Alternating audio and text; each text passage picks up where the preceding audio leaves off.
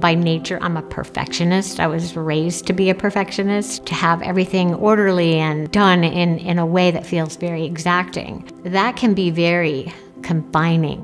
One of the things that imperfection and working in a way that leaves a lot of the end result to chance is that the work gives back to me and hopefully gives back to the viewer. My name is Caroline Burton, and I am a 2021 artist resident at the Sam and Adele Golden Foundation for the Arts. The Afghan process began several years ago.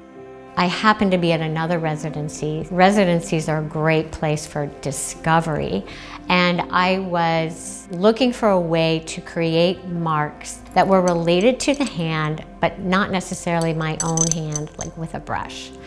And I found a rug, and I said, let me try painting on this rug and transferring that to canvas. And thus began a lot of experimentation with how to get the paint to the Afghan and get it all to kind of work.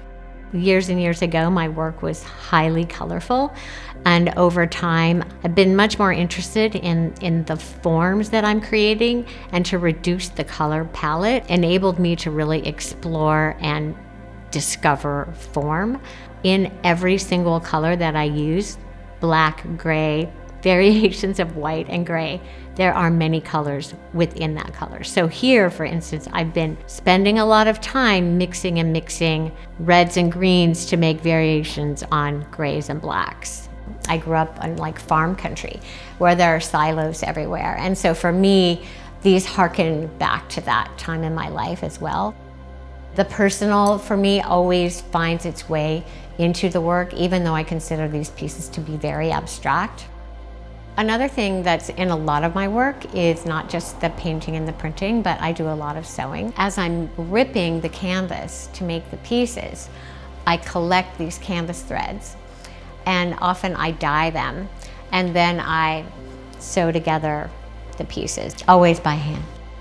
So one of the products that I've used here that I had never used before, I didn't even know it existed, was the gloss glazing liquid, which when applied to the paint gave me more fluid ability and made it easier for me to adhere the paint to the Afghan and then get it onto the canvas. That product also gave me much more working time, which I need because I'm working on these really large Afghans and I don't want the paint to dry before I'm finished applying it.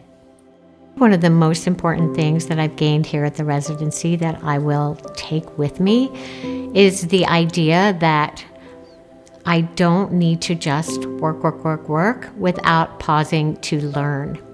And the technicals gave me that opportunity and fueled ideas that I was then able to bring back to the studio and employ in my work. The residency has improved my confidence in the direction of my painting. I'm usually very hesitant being able to explore multiple colors and use multiple media has allowed me to sort of play and work a little bit faster and be more assertive. And I think that's really going to make a difference as I go forward. My name is Kat O'Connor, and I am a 2021 artist resident at the Sam and Adele Golden Foundation for the Arts. I've been trying fluid acrylics, which I hadn't used before. Their color is very intense, even though the consistency is very different. So it works perfect for the way I work in terms of layering and building up color instead of just mixing color. I really have been amazed at the variety of ways the different lab people will use one product having the micaceous iron oxide turn up in a printmaking class as a texture, having it show up in a skins class as a skin, using it directly and mixing it with paint. So I've liked following one particular medium through multiple technicians' classes to see what happens with it.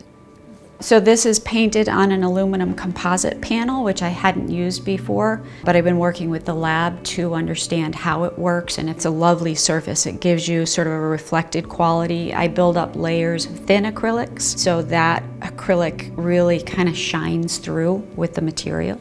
This piece is a friend of mine in Greece, and she does triathlons. So she's a very, very good swimmer. And really good swimmers apparently don't make splashes. so, so I requested that she splashed around a lot. What I loved about it was the difference between the water sort of flowing up into the sky and the, the distortions that happen because of the water reflections and ripples. This is a, a, big breakthrough for me. I started with the markers on the fluid acrylic. So I put the marker tops on and then literally covered in the undercoating with the markers, which was fabulous. It's very physical because of the size. It's just a completely different experience in painting and I, I loved the physicality of it. I've been a fan of Golden Paints for a really long time and I spend a lot of time on their website. I call the tech service a lot.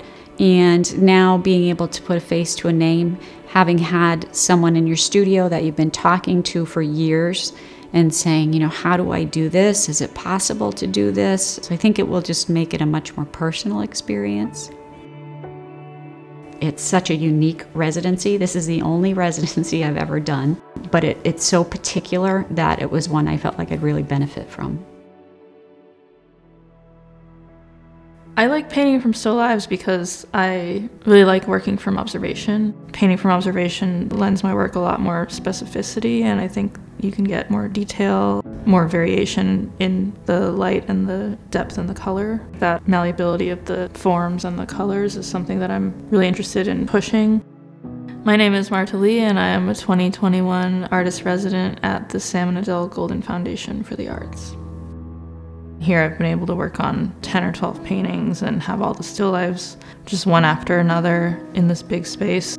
I had access to a storage barn here with plethora of chairs and desks and toys and books and textiles and that was really perfect for the kind of objects that I'm drawn to in my still lifes.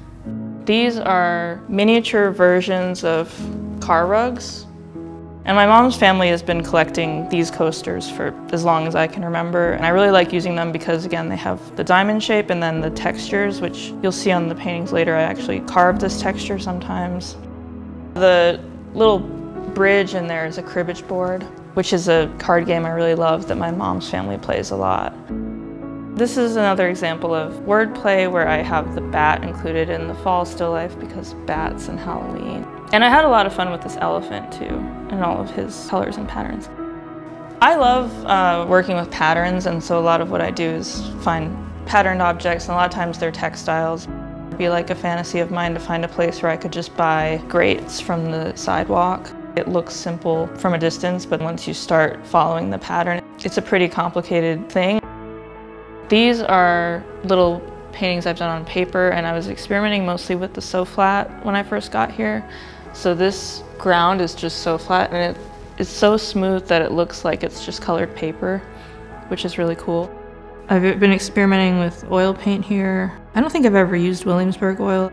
It's kind of ironic that like my favorite acrylic brand brought me to oil, I think I've learned a lot here about how to balance between doing things you're familiar with and trying new things, and even learning how to experiment, the idea of doing a test.